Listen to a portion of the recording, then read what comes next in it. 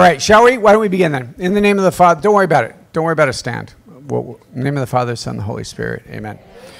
Just uh, stop and quiet ourselves for a moment and ask that God's Holy Spirit would be with us. Lord, that you would allow our minds and our hearts to be opened, that we would encounter you as you encounter us. Glory be to the Father, to the Son, and to the Holy Spirit, as it was in the beginning, is now, and ever shall be, world without end. Amen. Amen. So, uh, welcome everybody. So, this is the first stage of our workshop. So, we have two series. So, this workshop, a little bit of break, another workshop. Workshops are supposed to be somewhat interactive. So, I'm supposed to ask questions, and you guys are supposed to answer them. Amen. Amen. Amen. So, the interactive part is I'm just going to put the microphone here and I'm going to sit down, and then somebody else will come up here and fill it up. Not that, not that interactive.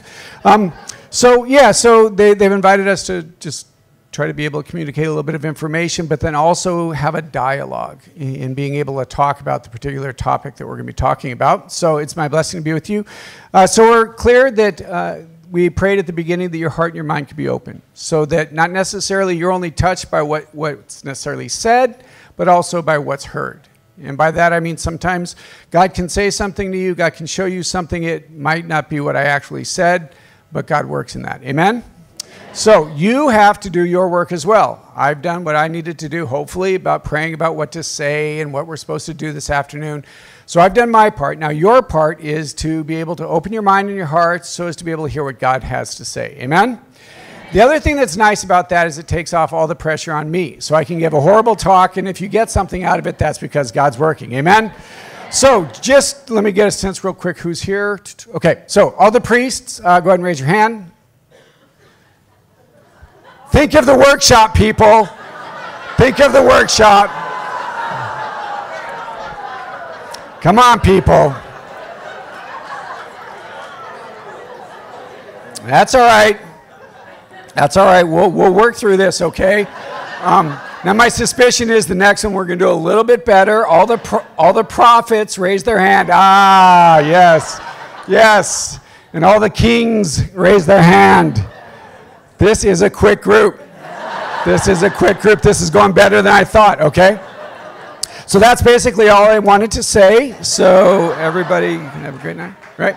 So, now if I were to ask you, my suspicion, if I were to ask you, the greatest event of your life? I mean, we have all kinds of answers, and you probably, given the topic, you know where I'm going to go. But I want to suggest that the greatest event of our life is baptism. Is baptism. And what takes place in baptism for us is, is really the, at the heart of what we're going to talk about the rest of the afternoon. Is what it is, and, and for us to be able to actually step into that the grace of baptism. Now, again, if I was to ask you and you had no idea what the greatest event of your life, some of you would, I'm sure you would say your, your wedding day, right? That's what you told me to say, right, Mike? That's what I thought. Your wedding day, right? Oh, that, oh you're, a, you're a rock star, seriously. So now watch me not use it the whole time. that's great, that's great. Thank you. Right, so that great, uh, the greatest moment, uh, the birth of your child, uh, could be graduation, I don't know what it is, right?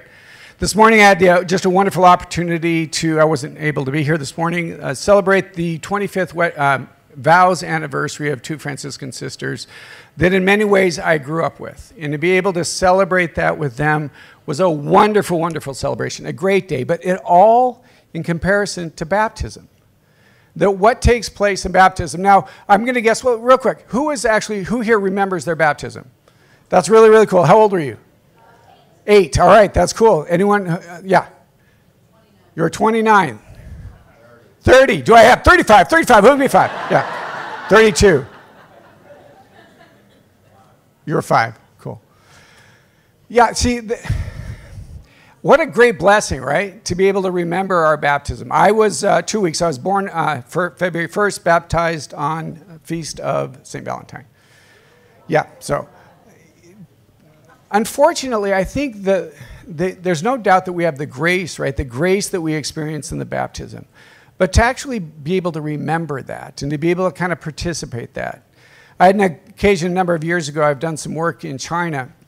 and working predominantly with the underground church. And this one particular occasion, uh, it's a kind of a long story, but I'm going to make it a lot briefer. This, this one gal who was helping me, touring me around, was my translator. And I was talking of this conversation with a nun that I was with.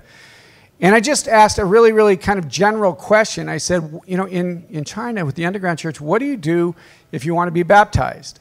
And this lady gets up, she runs across the room, and she says, I want to be baptized. And I said, I'm sorry? She goes, I want to be baptized. And the nun looks at me and says, It's up to you, Father. I'm thinking, I don't know. Like, no, seriously, nowhere in seminary did they say, okay, if you're working with the underground in China and, church, and somebody comes, this is what you're supposed to do. Didn't talk about it once, right? So I said, well, I think I need to have a conversation with this lady. So we had this beautiful conversation, and she shared how, and I'm not going to ask you this, but she said, Father, I've read most of the catechism. Now, I'm not going to ask you here who's read most of the catechism because I'm sure you've all read most of the catechism. You all know what the catechism is. Exactly, exactly. Things are going great, okay? So, so she just began to share, and she kept on saying, um, I get to become new, right? Like, I, I would be new. If I was baptized, I, I would be new. I said, yes. She asked me could I, if she could go to confession. And I shared with her, actually, that you get one free one, right? So you don't have to. Then she said beautifully, Could I talk about it? And there were some things that she needed to talk about. There were some things that she needed to be reconciled in her own mind and her own heart. And as we were talking, as she was getting more excited, I found myself that there was no way, right? There's no way that I'm going to tell this, this woman that she can't be baptized. So we opened up the door, and there was a bunch of uh, other women who were outside, and they were just kind of leaning in, like, What's going on? What's going on? What's going on, right? And I said, I think we're going to have a baptism. And they're all excited. So the next morning, we didn't, was, we didn't have a church that we're using. So their baptismal font was this little blue bowl that they uh, bathed babies in, right? Because this was a place where, a little orphanage. Little, I remember a, a, brown bear that was on the bottom of the, of the baptismal font, which was one of the most beautiful baptismal fonts that I've ever seen to this day. But I'll never forget her leaning over to be baptized and her tears rolling down her cheek into the water, right? And when she was finished saying, This is a dream come true, right? This, Father, this is a dream come true. She would later share with me that the first time she had ever heard the name of Jesus, she was a little girl in a village and there was a preacher coming through. And the preacher spoke of Jesus, and she had never heard Jesus' name before, but what, she, what the preacher spoke about was, It was not you who chose me, it was I who chose you. And she said she heard that, and she said to herself, I wished I would have been chosen. I wish somebody would have chosen me. And she again begins to weep and says, This is a dream come true. She understood the beauty and the grace and the dignity that there is in baptism. But I suspect all too often we don't give it enough reflection. We don't take some time just to be able to pray. So if you hear nothing else, I would invite you in the next couple of days to just to be able to stop and to be able to pray and to be able to think about what takes place when we're baptized. We are fundamentally changed right? So the person who is five minutes before the baptism is different than the person five minutes after the baptism, right? The person becomes conformed to Christ that we become transformed. We are ontologically changed in baptism, right? So that when God looks upon us, he sees his son. I think there's a danger that in one way we think that when we're baptized, a little bit of Jesus is placed in us, right? So, no, no, no, no. We are placed in him, that we are grafted to him, right? So that when God looks upon us, he sees the nature of his son because we are baptized into the person of Jesus. We have discussions is so and so, are they Christian? Are they if they've been baptized, they're Christian. Amen? Whether or not we're faithful to that is a whole other question. But if we've been baptized, we are baptized into the death and resurrection of Jesus and we are changed. So we enter into that water, literally, we are dead and we come out of that water alive. Now, most of us have not experienced that because we experienced it as babies and we don't remember it. And yet, when you listen to the story of somebody who's experienced that as an adult, there's something that's really profound about that. And I will suggest, I'll talk about that this evening, that that in fact can be what the baptism of the Holy Spirit does for us, right? It allows us that experience of this encounter that I was dead and now I'm alive. Amen? So, when we're baptized, we become in alter Christus, we become another Christ, right? So if you are not comfortable with that, it's something you need to be pray, you need to be able to pray with. You are another Christ. What does Christ mean? Anointed, right? Right? So, are you comfortable with saying that you are another Christ? Really? Didn't sound like it. It's like, yes, because you know that's the right answer, but you're not so sure, right? The word itself means Christ, the, the word itself means the anointed one, right? So when in the scriptures, in the beginning of Matthew, they look and, and Jesus walking and said, Behold the Christ, right? He is the Christ. He is the anointed one. And if I am in Christ and at baptism I become literally anointed, then we are another Christ. He is the Christ. He is the he is the primordial anointed one, but we participate in that in that we are now in Christ. Amen. So in, in, in the scriptures in the Old Testament, when they speak of the anointed, there were three groups, three classes of people that are anointed. I'll bet you you can guess who they are. Seriously, you guys are good, all right? And all the priests in the hand in here raise their hands. Okay, all the prophets, kings. I just kind of wonder which one we like most, but we'll deal with that later, rite? So Jesus is the anointed one. So when each one of us was baptized, we have heard, and the right says, just as Jesus was anointed priest, prophet, and king, so may you live always as a member of the body of Christ, sharing an everlasting life. So when each one of us was baptized, those words or something like those words were said over us. And I don't get to do a lot of baptisms, just in the nature of my ministry doesn't have me able to do a lot of baptisms. But the ones that I do, one of the things that they said to me in seminary that I actually listened to, that I paid attention to, was um, use the symbols. Let the symbols speak, right? So to be able to take the oil and, and, and anoint that child, it's not just, don't just dip your thumb into it. It's like just imagine the scene, right? And pour the oil anointing over that child, right? They become anointed, and you take the chrism, which you're going to be able to smell for a couple of days, right? And you just all you want a little greased little kid right there. It's hard to hold on to. Okay, it's fantastic, right?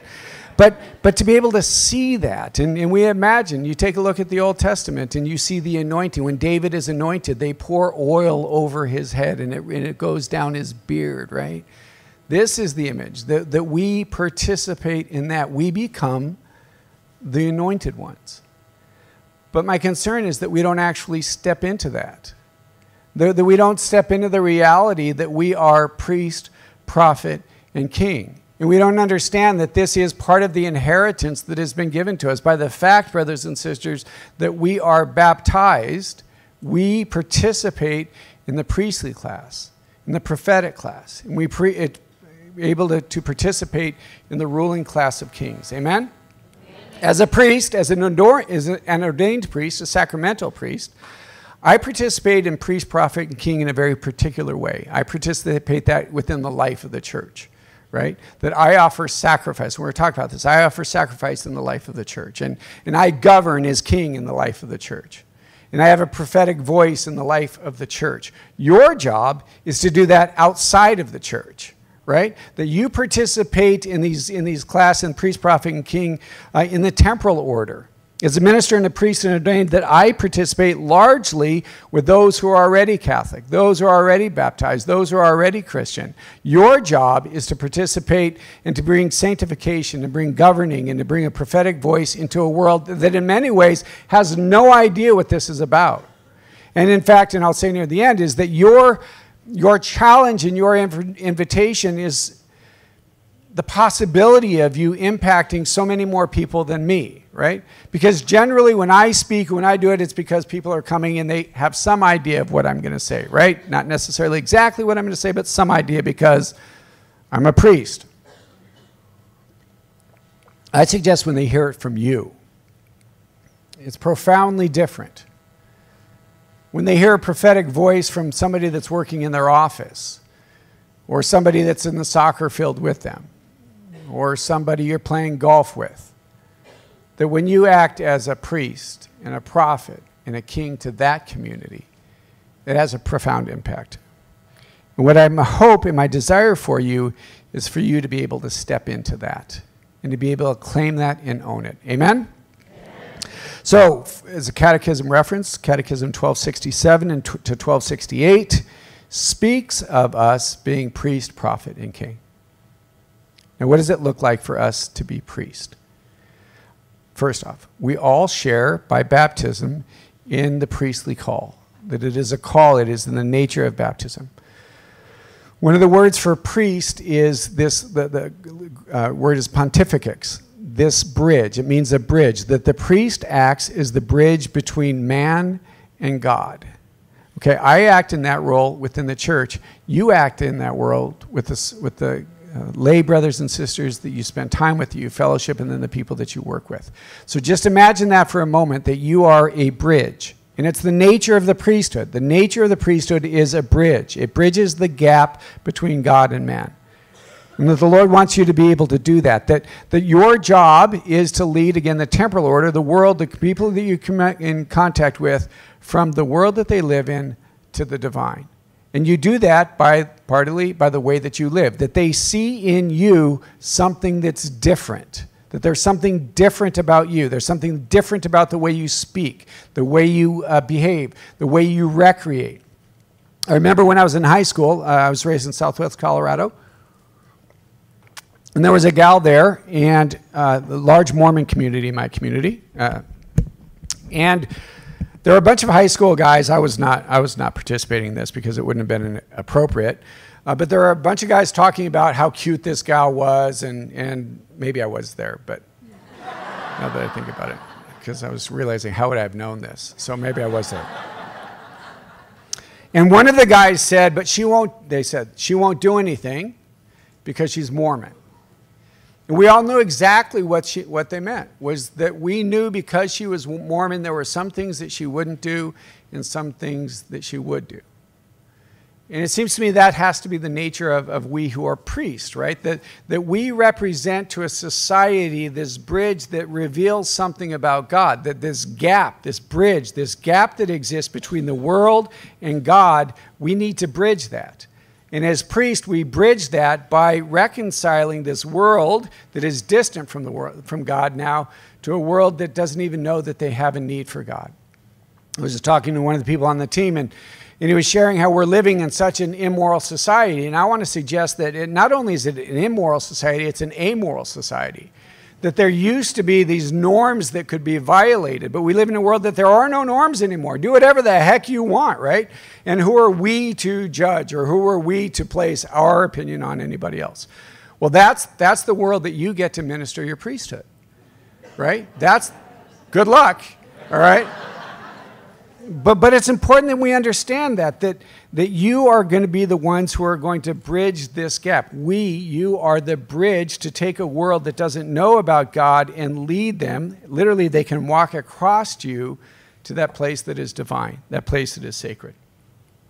One of the ways that we do these, and these are different elements or characteristics of priest, is by offering, by this offering of a sacrifice or an offering of whatever so I grew up in my family, my mom has multiple sclerosis. And this sense of offering up was very real for the priest, and we'll talk about this at the, at the Eucharist, at the liturgy, but I, as priest, offer a sacrifice. I enter into this eternal sacrifice sacramentally.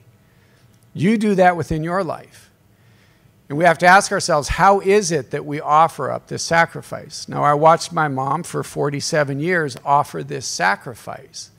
And her offering that sacrifice was sanctifying to me, right? That I watched my mother behave as a priest in offering sacrifice for her kids, right? So the days that, that uh, one of the, I guess, advantages, uh, me and all my brothers and my sister, we all know how to cook. Because the days that my mom wanted to cook, but she wasn't able to, right? So we all pitched in and we learned how to cook. I wish the friars knew how to cook but that's another story for another day. Hmm. That's my sacrifice, right? a buddy of mine's been struggling with some illness late, lately, and um, it was really interesting. He had a really insight, a beautiful insight.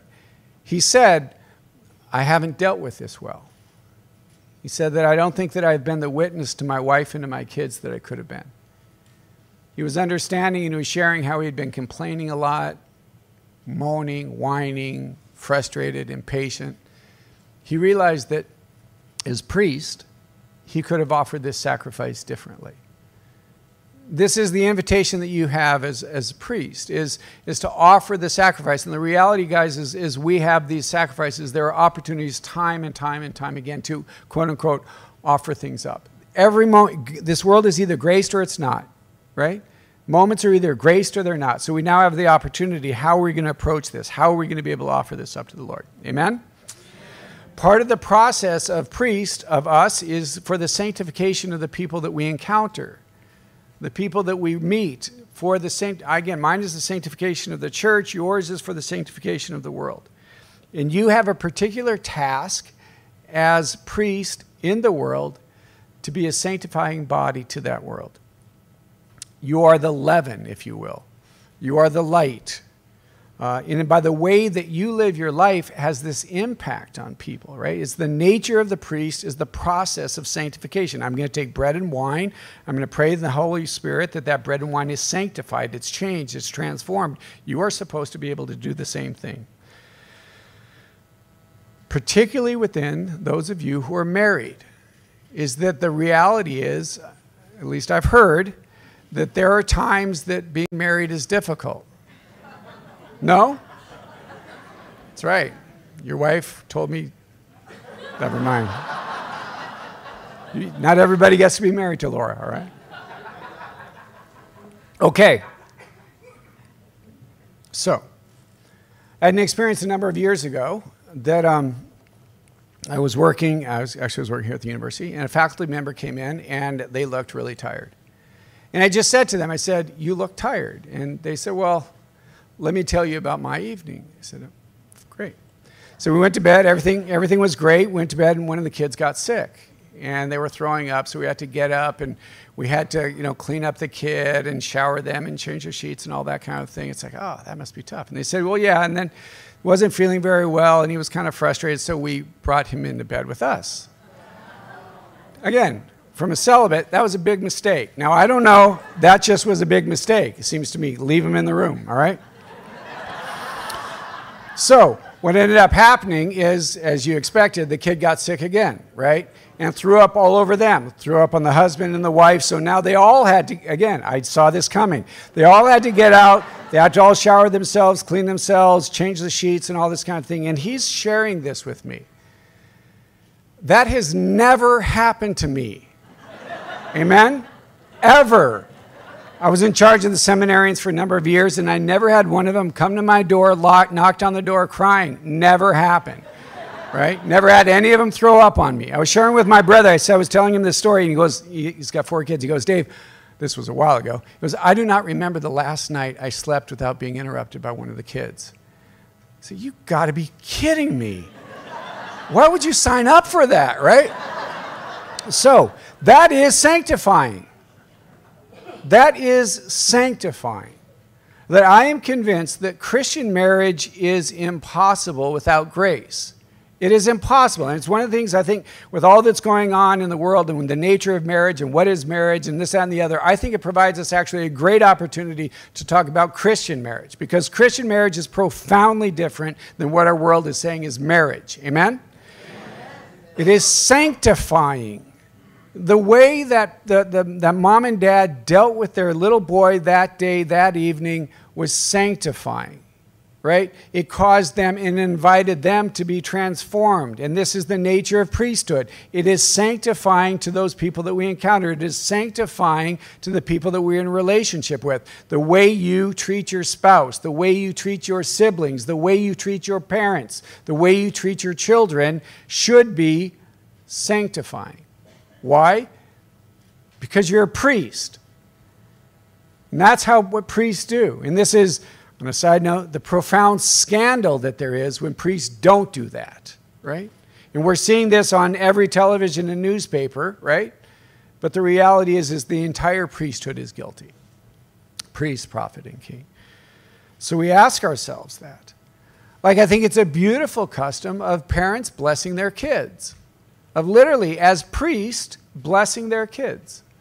before they go to bed, I don't know, before they go off to school or whatever it is, there is something about people are coming to me all the time asking for my blessing as a priest. You ought to be able to give your blessing, those of you who have children, to your children, because you are the priest of that family. Recently, I was invited to dinner, and I, don't I was trying to remember where it was, and I can't remember. They asked me to say grace, and I said to one of the parents, I said, This is your home. You're the priest of this home. I'm welcome to say my grace if I have to, but I would suggest that one of you say grace, right? This is, we believe that it is the domestic church. The family is the domestic church, and of which the parents, the mother and father, are the priest of this, right? We need to step in that. Yeah.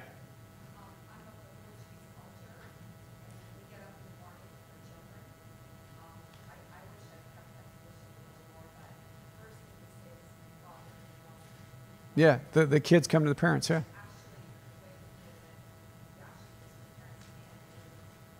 That's cool. She said in her family, is a Portuguese family, that in the morning they would ask the blessing of their parents and then kiss the parents' hands, right?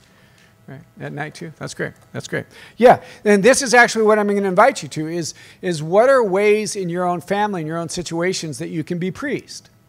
Right? I mean, we, we place this thrust on me about what, as an ordained priest, there are some expectations that you have of me that is eminently reasonable. I push that back to you to stand as priest. And what does that look like? What does it look like for you as far as the offering of sacrifice? What does it look like for you standing in the gap? What does it look like for you to be the bridge between God and man? Each one of you is called to be able to do that. And my invitation for you is to take some time and reflect about what that's going to look like for you. Amen? Now, the other is that I obviously have a particular relationship as priest, as an ordained sacramental priest, to the Eucharist. Jesus obviously invites the priest to be able to do this in memory of me, right? But we all, when we gather, it doesn't mean that you're not a priest at the Eucharistic celebration right? So it's not, you are not just the sightseeing. You don't come to Mass just to sit back and watch, but we as priests, I as an ordained sacramental priest, lead the community, lead the congregation, but we're all priests and we're all making offerings and sacrifice. Amen? One of the cool things that happened one time, and some of you know this story, but I was in Africa and they do a really cool thing at, at, the offertory in Africa. So they bring up the bread and the wine as we do at every offering at, at Mass in, in the, the, States. But they didn't just bring up the bread and wine. They brought up all kinds of things. They brought up a blanket that this lady made. They brought up uh, fruits and vegetables and grains and all of these offerings. They brought up a live chicken. All right, there's this chicken, and I'm. They bring me this live chicken. It's like, what do I do with this? All right, this is never right. They bring up a baby. They offer me, they offer me a baby, which is great because I always wanted one, right? so they offer me this baby, and I'm like, but what this is, is they're offering everything at the altar. And this is the reality is that you as priests and celebrating a priest, it's not only the bread and the wine that it's been being offering, but you are offering on the altar and you are offering things that need to be changed. Your hurts, your fears, your anxiety, your bondage, whatever it is, your question, your fear, whatever it is, all of that is you are priest, amen? And as priest, you offer.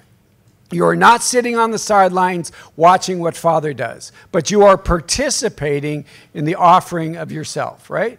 The early church, the altar was huge, right? And it wasn't just the bread and wine, it was this massive thing that everything was placed on there. Now we've kind of narrowed it down. But what is it that you're bringing every time you celebrate Eucharist? Yeah.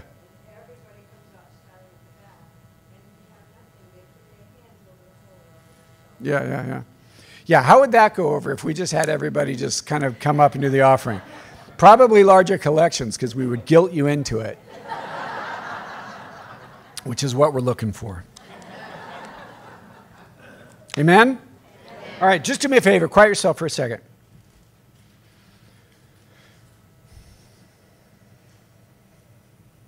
Lord, we ask that you'd be present with your Holy Spirit just in your own mind, to pray about the reality that you have been baptized a priest. And as such, to be able to claim that, to be able to offer sacrifice, for those that you love, your children, your siblings, brothers and sisters, people you work with.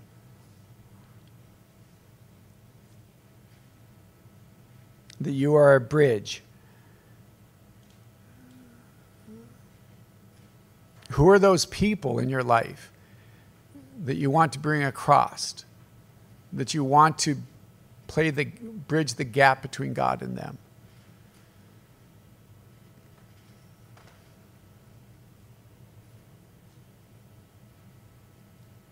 that you're a light, you're a leaven, that God uses you for sanctification of others.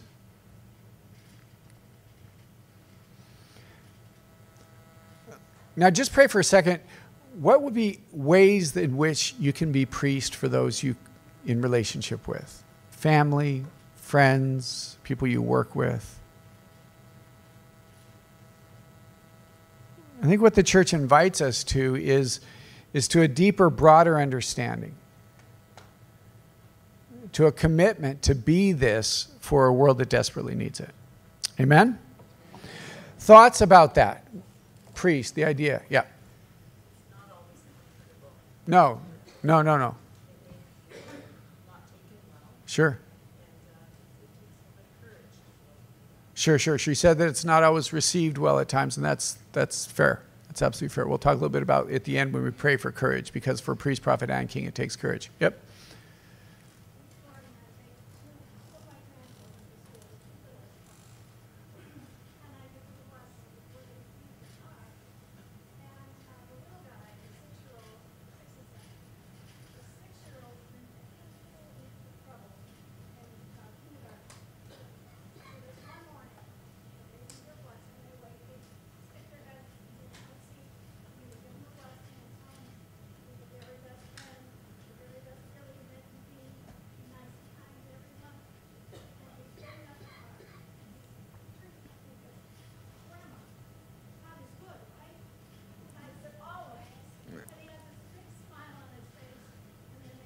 That's great. That's great. She blesses her, her grandkids every morning before Mass, eh, before school. That's fantastic. Yeah.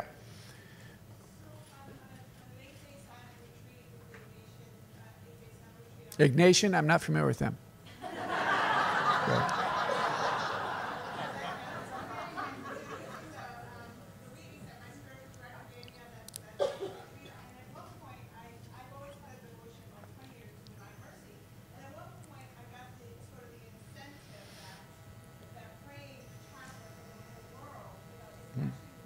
Yeah, absolutely. Beautiful.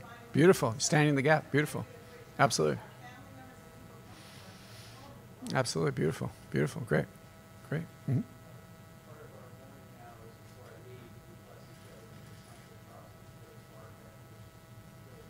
So the couple does that to one another. Great. Mm-hmm.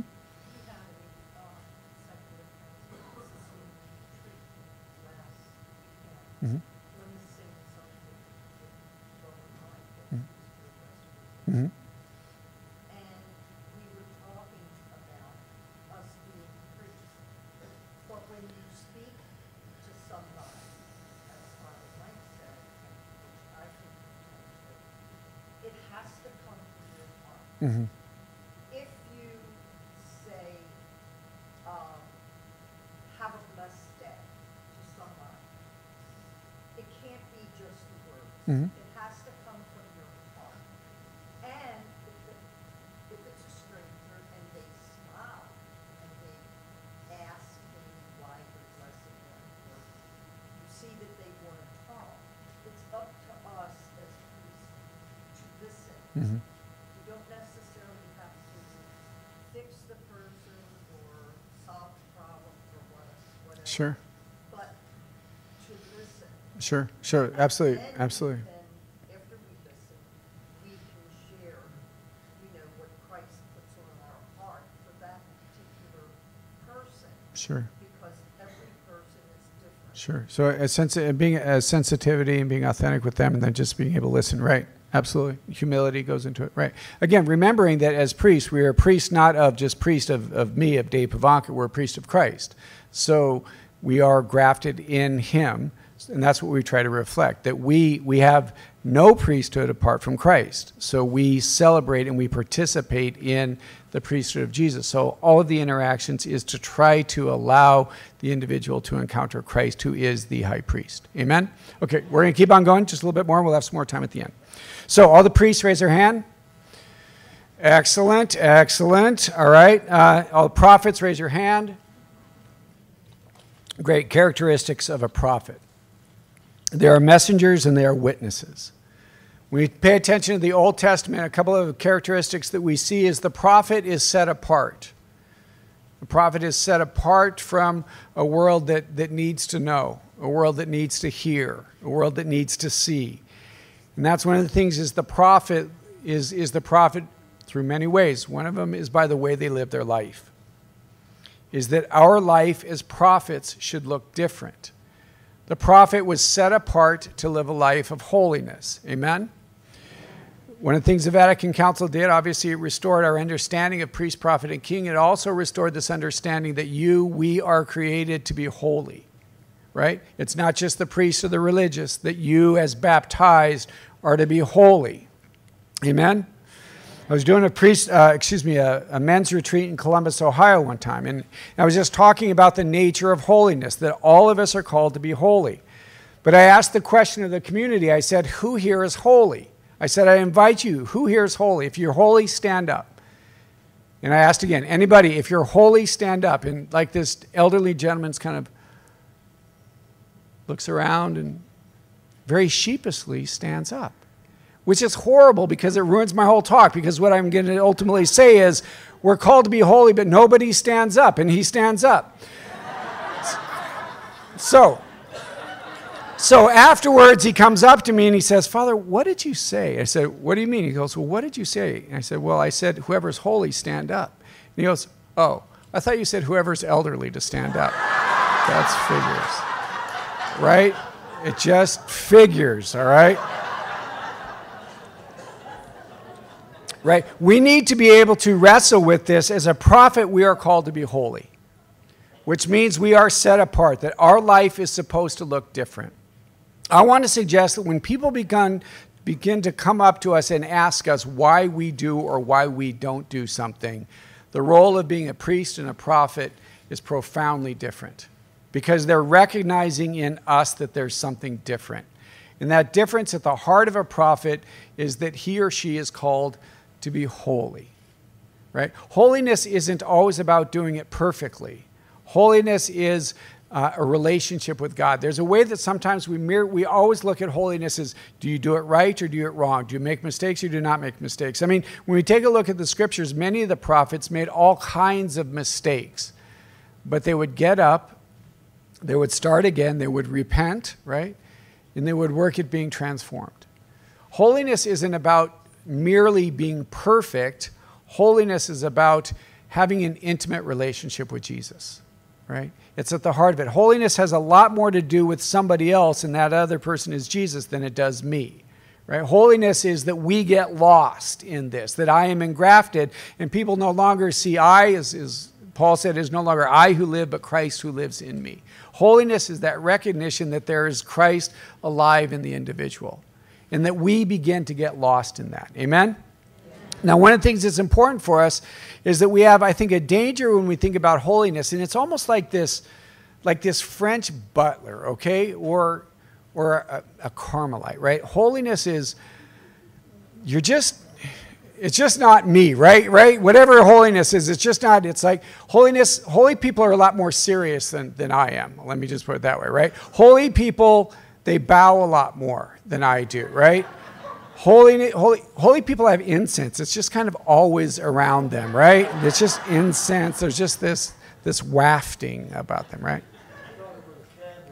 Yeah, yeah. I remember when I was a postulant, somebody said to me, this guy was in vows. All right, so if you're a postulant, there is nobody lower than a postulant, right? The postulant is the very low. This guy was in vows. I don't know what I was doing. I was fooling around doing something. And he looked at me and he said, Dave, I used to think you're holy. Now I realize you're an extrovert. She was like,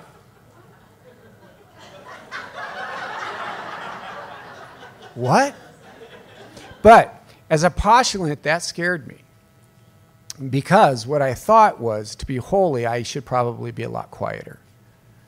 And I probably should not have short sheeted the novices' beds. I Probably shouldn't have done that. A danger, here's a danger, is that when we think of holy people, we think of that person rather than ourselves.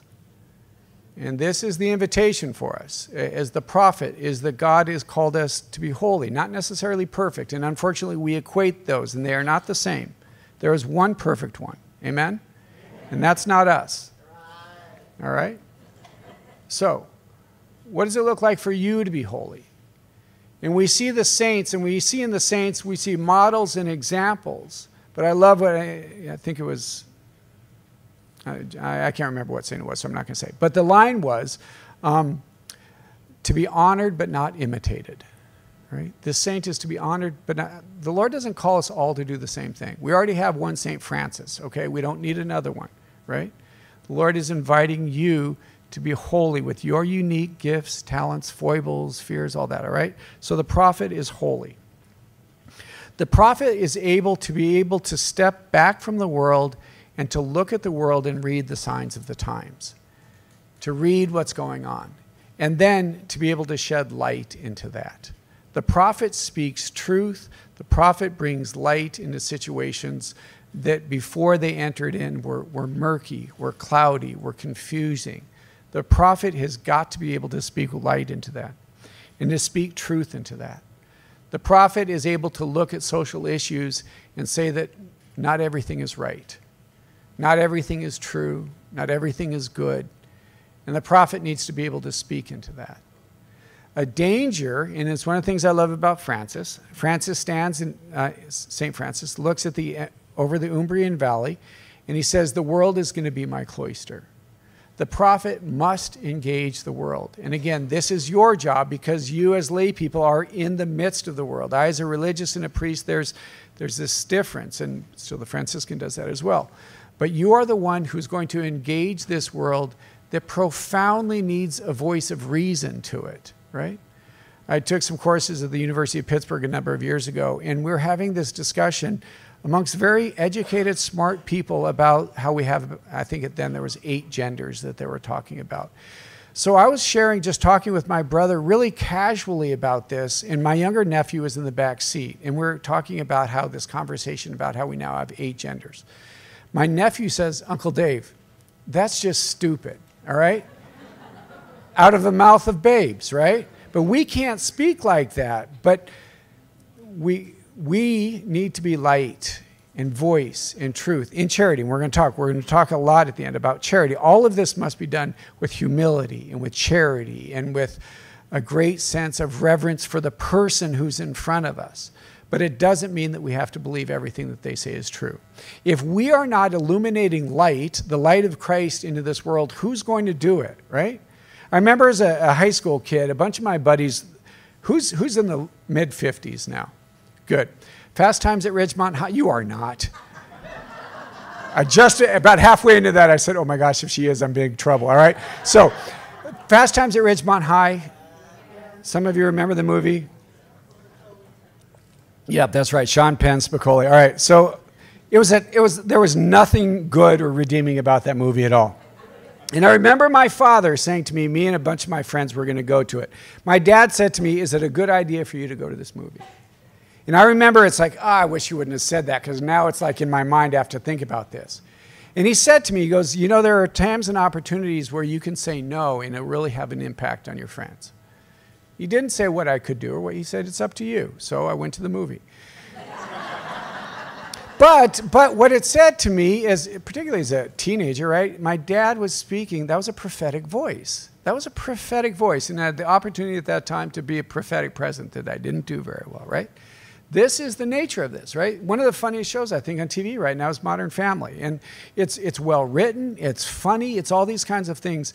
But it is beginning that, that the attitudes of, of the world are beginning to dominate. And if we as Christians don't speak, again, in charity, and I will say a billion times, in charity, truth and light in a world that desperately needs it. One of the things that Pope uh, John Paul, now St. John Paul, said when he was in St. Louis, he was speaking about truth and freedom. We live in a culture in a world today that says truth is uh, to believe whatever you believe is true. Everybody's, all truth is equal, all truth is the same, all truth is relative. So whatever you believe is true is true. We live in a world that says freedom is the ability to do whatever you want, right? Because we're free, we can do whatever we want. The Holy Father says when truth and freedom are separated, the very moral fabric of our society begins to unravel, which is exactly what's happening, right? We're seeing these two things separated, and the very moral fabric of our society is beginning to unravel. We are called to a prophetic voice in the midst of that, right? To bring some sense of order, to bring some sense of truth, goodness, holiness, presence.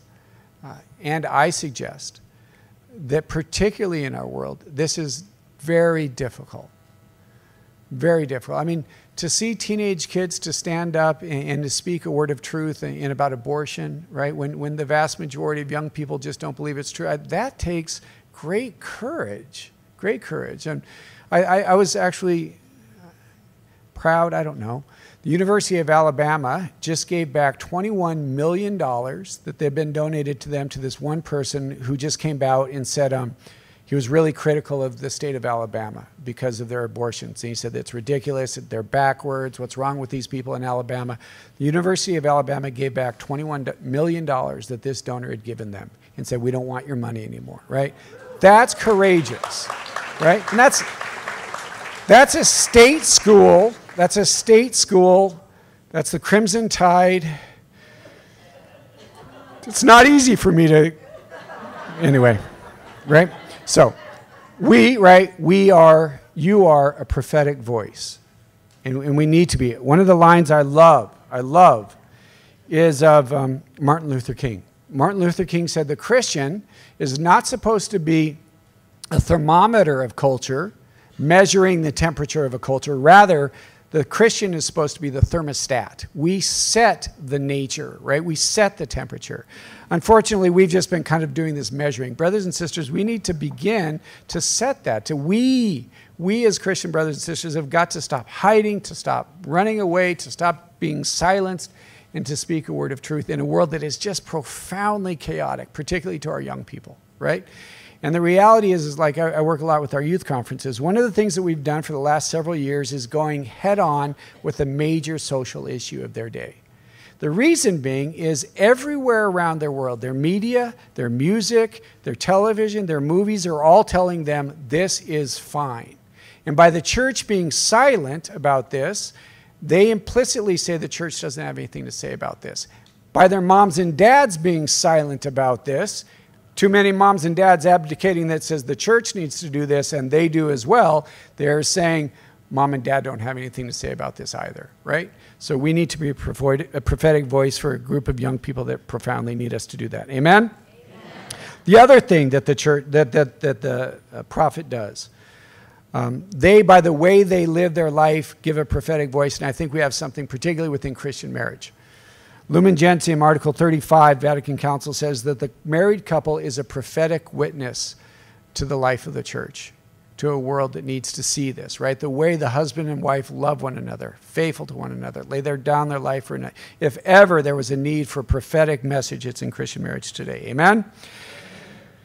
Finally, oh boy, literally finally on that. Um, the other thing that the prophet does is to speak to a world that God is, not merely God was and God will be, right? God is, not God was and God will be. The prophetic voice brings God to the present to a world today right? Today. The God has something prophetically to say to the world today. Unfortunately, what I think we do is we look to say, well, what did God say 25 years ago? Um, that's one of the things I like working with young people because they don't know what God said 25 years ago. And they're willing to listen to what God wants to say today, right? So we need to be, as a prophetic voice, to be able to make God present to us today. Amen? Okay, quiet yourself for a moment.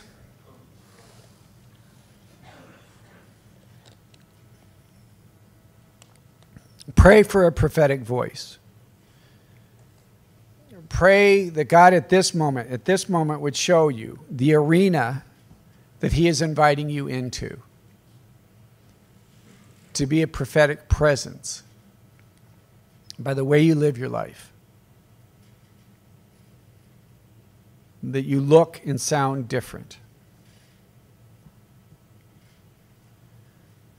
That the Lord would give you the grace to know when to speak and what to say, and give you the grace and courage to say it. Amen? Francis never said, uh, preach the gospel at all times and when necessary, use words. Never said it. And the reason I say that is uh, it's important for us to work, use words, right? That we give proclamation to why we are different, all right? Somebody can look at us and they say, oh, they're different. We need to give a proclamation to what makes us different. What makes us different is that we are priest, prophet, and king. Amen? Okay, king, that you share in the governance, right? You share in the governance of the world, of the temporal order. I, as a priest, share in the governance of the, uh, of the church. You participate in that by participating in, in ministries within the church, reading Eucharistic ministers, parish councils, finance. You share in that governance. But you also share in the governance of the world, in the temporal order, in the governance of your family, in your parental authority, that you set order, right? You create order that's why the families that, that have no order, that have no rules, have no, it's, it's chaos, right? So you help by your governance, by you sharing as a king, you bring order to that. Uh, you need to pray as, pre, as king uh, for wisdom. How do, again, how do you rule, right? We rule with wisdom. That's why I love Solomon. Solomon, what he asked for, he asked for wisdom. Right? I think particularly as a parent, in the world today or as a grandparent to figure out how to navigate these waters, good luck. Better you than me, all right? You need, you really need wisdom. We're going to pray this evening about the, the gifts of the Holy Spirit that are given to us in Isaiah, and wisdom is one of that, right? You need wisdom about how to proceed and how to move forward. You need patience. You need courage. My older brother, both of my older brothers, when they turned 18, they moved out of the house because they didn't like my parents' rules. Those same parents have put rules in their home, right? That they understood now that there is wisdom and there is beauty. One of the, I think one of the things that some quote unquote charismatic groups is, is it's kind of like anything goes. God is a God of order. He's a God of order. He works in order and that the, to the degree that we can bring order in our families and order in the areas that we work, that's part of the way we can govern. Amen? With that being said, uh, I think a father has a particular role in their family. I've done quite a few weddings, and one of the things that I see happening in, in particularly newly married couples is oftentimes it's the young woman who is more formed, um, more prayerful, more thoughtful. And what this creates is her desire that her husband be uh, a, the more of the leader in the family. And there's beginning this tension that exists between this desire that she has on him and an inability of him to be able to follow through with that. Uh, we in the church, men in the church, men in the families, need to stop abdicating all that is spiritual to the wife, right? It must be shared, right? to be able to see, I, I, tell a story about my father, my father being a physician, uh, just cool things. Several of my dad's nurses over the years went through the RCIA pro- program and became Catholic by the witness that my dad was to them. But I remember as a kid walking into a little chapel one afternoon, and my dad was in the front. He had some few minutes between patients, and he was kneeling down in the front of the church. Uh, this had an impact on me, right? He's seeing his dad kneeling down, praying, right? Fathers need to be able to take that role more seriously is, is, is to allow their kids and their spouse to see that. Amen? They must uh, stop advocating the responsibility of the spiritual life, spiritual well being of the family, and they need to become the fathers, the priests, the prophets in their own family. Amen? We need to bring order to the world that we live in. You know, again, the educational uh, committees across the country are just, they're craziness that's going on. Some of the things that are being passed are craziness if, if Catholic Christians aren't going to be a part of the educational boards, if they're not going to be a part of the social movements, if they're not going to be a part of whatever is going on in your community, then we need to quit whining about it and complaining about how bad things are, right? Part of the role as king is to be a part of the governing of our society. And unfortunately, for lots of reasons, we're not being involved in that. So we need to quit complaining about everything being wrong if we're not willing to engage it. Amen? So you need to be a part of that. And again, you as a layperson has a particular responsibility for that. To be on the education boards, to be part of the PTAs, to be part of Rotaries, and I don't know all these organizations that you should be a part of, but be a part of them. Amen? Um, if we don't bring love, we don't bring the community. All right, we need to stop. Oh, stop. okay, so so we we planned um, these this workshop. We planned maybe a year and a half ago about what I was going to talk about here. What motivated it for me was the mess that we are we have in the church right now. Is what we have is men and women, priests included, that are not being who we're supposed to be, right? And, and I take that on myself, and on behalf of priests, I repent for that. And, and I've spent much of the many last years trying to bring order and peace to that. But the reality is, that's all of our story, right? That we are all priests, prophets, and kings, and we need to step into that. And we need to begin to behave as that. We need to begin to live like that. Just be who we are. Amen? Be who we are and who we've created to be in baptism, that we are changed and we need to own that. We need to literally step into that with confidence.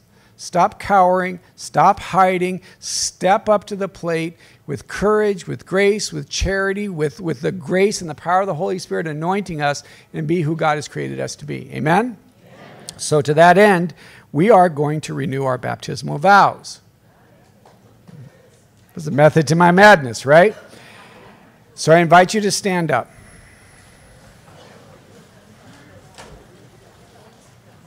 Could we do like a verse, a verse of Come Holy Ghost? We could probably get through that, couldn't we? I'm not so confident about this, but let's give it a shot, all right? In the name of the Father, the Son, and the Holy Spirit. Come, Holy Ghost, Creator blessed, and in our hearts take up thy rest. Come with thy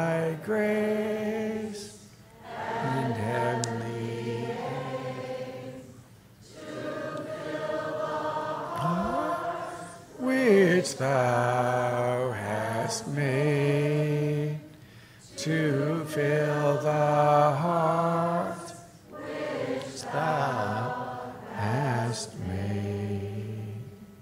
In the name of the Father, the Son, and the Holy Spirit, Amen. the Lord be with you. We come before the Lord this afternoon as baptized priests, prophets, and king, and are being given the opportunity to renew ourselves once again in this baptism, this grace that was given to us, the call that was placed on our life.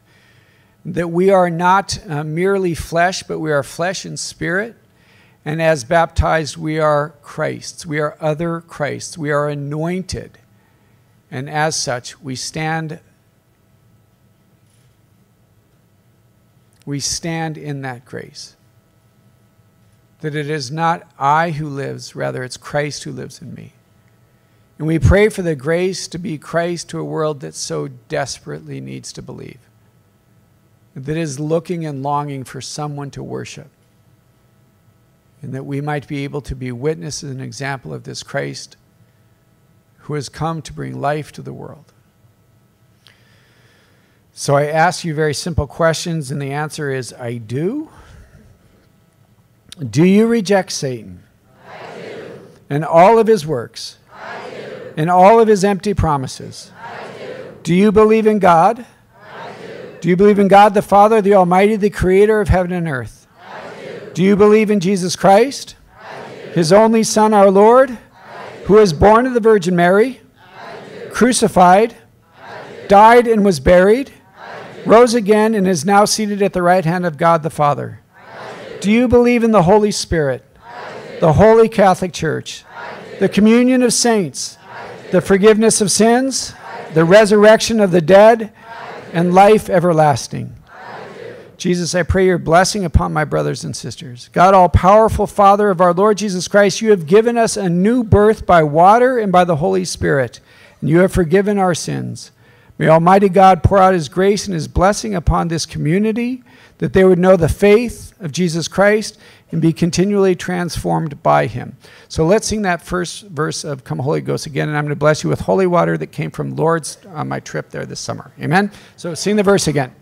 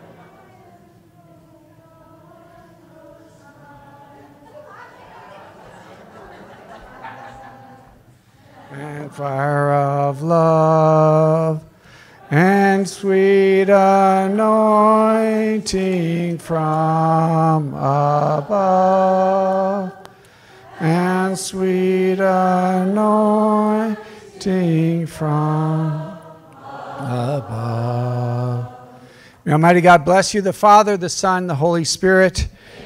Be who you have been anointed to be. Amen. God bless you guys. You have 30, 25 minutes to get to your next workshop. God bless you guys.